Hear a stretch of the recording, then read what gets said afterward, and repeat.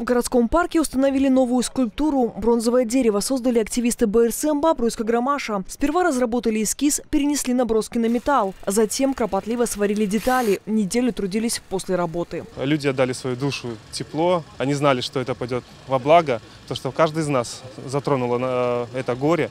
Я не знаю, что увековечить память ветерана – это достойное дело. Возле фигуры поставили лавочку, украшенную пятиконечной звездой. Как раз напротив памяти героям-подпольщикам и партизанам. Свой вклад внесли учащиеся колледжей. Помогал устанавливать лавочку, помогал устанавливать дерево, ну, вешал конвертик. На привокзальной площади сегодня выросли новые клены. Посадили 30 деревьев. Сквер заложили еще пять лет назад, в честь 70-й годовщины Великой Победы. Пока здесь вовсю работали лопатами, в офисе городской первички БРСМ упаковывали подарки. Актив э, Союза молодежи города э, подготовил э, такие своеобразные небольшие книги с стихами, эссе, которые будут переданы ветеранам Великой Отечественной войны в преддверии Великого праздника Победы.